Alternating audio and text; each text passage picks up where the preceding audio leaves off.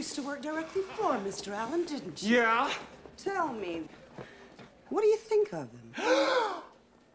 He's a pedantic, pontificating, pretentious bastard, a belligerent old fart, a worthless, steaming pile of cow dung, figuratively speaking. Really? How delightful. This way. Pardon me for interrupting your meeting. Uh, Mr. Allen, you remember Fletcher Reed? Yes, yes. Nice to see you again, Fletcher. By the way, I'll be observing you in court this afternoon. I've been hearing some good things about you.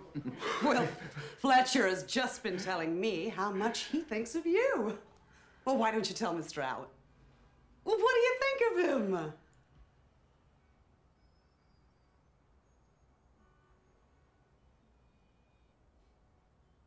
He's a pedantic, pontificating, pretentious bastard, a belligerent old fart, a worthless, steaming pile of cow dung. Figuratively speaking.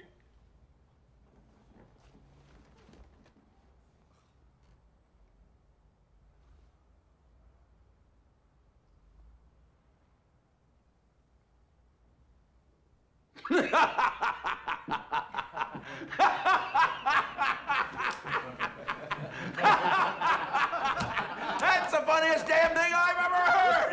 You're a real card, Reed. I love a good roast. Do Simmons.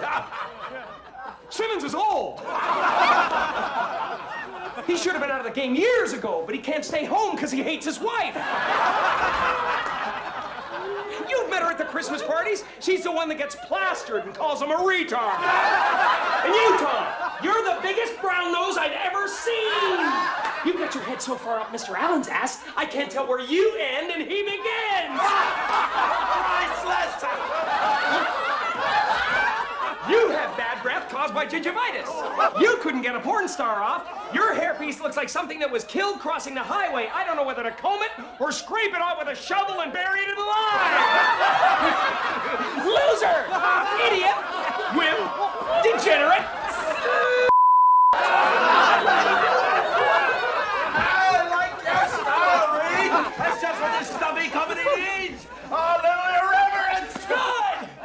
see you later, dickhead! dickhead, priceless!